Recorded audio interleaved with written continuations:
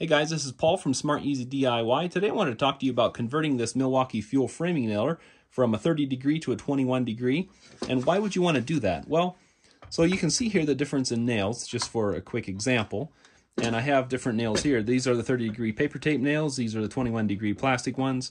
And so I have a lot of these nails and a lot of these nails. And instead of buying a whole new gun, I just bought a new extended capacity magazine, which just was about 90 bucks you can get them for. And I'll have a link down in the video description if you want to check out where I got mine. But you can do that, and then you can just swap them out. Just a couple bolts. If you, you know, you don't want to do it every day, but if you got like some nails to use up that are 21 degree and you got some nails to use up that are 30 degree, why not just do this instead of buying a whole new gun for 300 bucks? That's what my thoughts were. So if you guys want to know how to convert it, I'll show you a little later in this video. It just requires doing a little bit of filing on the top right up here. I'll show you how to do that. They just offset these notches a little bit. It's pretty easy, so let's get started. So first, of course, I'm going to show you that this is the 30 degree nailer. You can see I got some Paslode nails in here. So I'm going to show you really quick what I'm using. These are just 3 inch Paslode framing nails. So I'm going to do this before I actually convert it over.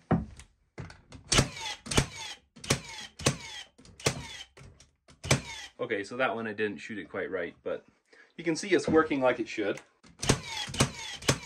Now the next thing I'm going to do, remove the battery so it turns it off. I'm to take the nails out of it. And then this has an Allen wrench on storage here on the nailer. So I'm going to remove this. There's a screw right here that you have to remove. See down in here. And then you also have to remove these two right here on the nose. All right, now as you can see, this just came off once I took it loose. So it sits just like this, and this one comes off just like this. Then what I wanted to show you is I got this 21 degree. This is the extended capacity one. This is the only one I could buy separately. But so it's really big. You can see how much longer it is than this one. I'm almost too close here to show you the whole thing. But it takes a whole nother strip of nails. And so what I want to show you is now this one, it goes on here, but the only difference, I'll try to show this here the best I can, but basically what the difference comes in is see how these bumps right here and these bumps right here, these ones are further up than what these ones are. So I'll try to explain this a little bit better. So this is the original, this is the 30 degree one. And you can see this right here is the bump that I was talking about. See how it slides right into that notch right there? You see that? So what the difference is on this one, so you can see it goes into place right here and here. But what the difference is here, see how for these ones, if I want these bolts here to line up, that's what the problem is, is to put these bolts back in. These ones here, want to come up above this. I'm going to try to line this up a little better to show you. Okay, now you can see the difference. See the offset there? So I have my bolts pretty much lined up here. Well, not quite, right?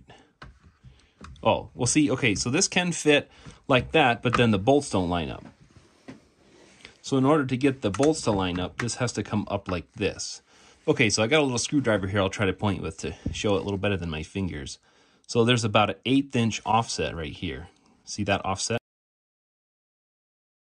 So in order for the bolts to go through here and line up, this needs to be ground down right here. So I would say about an eighth inch. And it's not just on this side. So I'm going to flip the nailer over and show you. But it's also on this side. See right there? See that eighth inch difference? So that's about exactly what it is, is an eighth inch offset. So this is a little less than an eighth inch tall but I'm going to try to take an eighth inch out of there. You can try with a grinder, a file, whatever you got on hand. So same on this part. So to see it from this part on, yeah, you just got to take the little corner out of this one, a little bit corner out of this one. So this is one thing I'm going to attempt. This is just a cheap little Wen half inch by 18 inch belt sander. So I'm going to try that on there. Some people talked about using a Dremel tool. I don't have one, so I'm going to attempt this and just to see how it goes.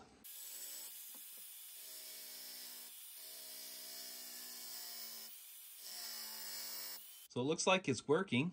It's getting there. I still have quite a bit to take off, but I'm going to try to get right down flush with this. So for this experiment, I'm just using 80 grit sandpaper. That's what this came with. You can try with finer if you want, or with coarser if you want. But 80 grit seemed like a pretty good one to start with. All right, so there's the first side. Got a little bit of dust on there. You can see I nicked this a little bit, and I nicked over here just a little bit, but it's just with the sandpaper, but you can see I got it nice and flush there. So I'm going to attempt the other side, and if you're worried about something like that, you know, when you're done, you could put a little Rust-Oleum on there, paint it if you know it's going to fit. It's just a thought, but now I'm going to hit this side. All right, got this side done. You can see it's a little messy, but it's really not too bad with that little sander. All right, now the moment of truth. We got this ground down, as you can see right there. So I'm going to try to set this in here. Oh, yeah. Now that lines up. Okay, now see, see what I did right there? That gives you a really uh, good visual of what that notch is all about. Let's see what the backside looks like. Okay, so you see right there, the bright shiny spot actually now is a little easier for you guys to see. Now this one is tight again, so I might have to take a little more off of there. I'll have to test it out, try to put the bolts in.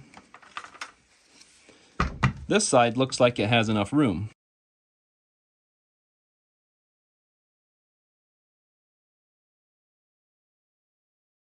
Okay, now I'm seeing that the gap here is a little bigger than what I would like. Oh, something wasn't seated quite right. Oh, now that I am snugging it up, check this out. I do have to take a little more off of this backside. Hopefully you can see that. It is still hitting here a little, and it's when I tried to snug these up a little bit, it made that go in. So it looks like I didn't quite take enough. See, now that can sit in properly, but I need to take a little more off this backside. So that's part of the process. I wanted to show you this in real time, that you just have to test it out. What I'm going to do is finish disassembling this and grind a little more off that side. So on camera, it's probably a little hard for you to tell, but this is the back side before I do anything. And it is about an eighth inch that I took off. This side's a little bit tapered, but right down in there in that groove where it matters, it's about an eighth inch. On this side, well, it's about an eighth inch as well, I would say, that I took off. But it appears I need to take another 16th off of this side. So that's what I'm going to attempt to do. All right, with my little sander, it is a little tricky to get in there. So I was trying to turn it sideways, try to get into that corner a little bit. Not sure if I took enough off, but I'm going to check it. Okay, so here's attempt number two. And show you the back side. This is the one where I took a little more off. Now see that gap? That's what it was doing last time when it was putting it in. The bolt, it didn't want to suck this nice and tight, which it has to be. So now I'm going to attempt and see, I'm trying to do this left-handed so I don't block the camera. Ooh, I think it's going. All right, before I snug the other side, I'm going to get this one in. Oh man, I think it's gonna work. See, this is nice and tight this time around. Got just enough clearance right there. All right, so I got those two back in. Got these two in, checking it out. Everything looks nice and tight. This gap right here especially. Then the same on the front. That's nice there. There's a little gap right there. But the bolts line up and everything lines up. So now we're going to test it out. Don't forget to put your Allen wrench back when you're done. Always want to keep that in case of jamming and everything else. Gonna put the battery back in turn it on. I'm gonna turn it on that mode. Now I have some strips of, I think they're two and a half inch or two and three quarter, and they're just 21 degree. All right, so it's loaded, ready to go.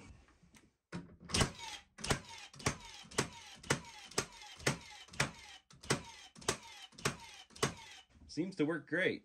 I did have two dry fires, two misses, but I think that was just because of the these nails are a little bit messed up from transporting them. I brought them home in a tool bag. I'm to flip it over and try it with just one clip of nails in it.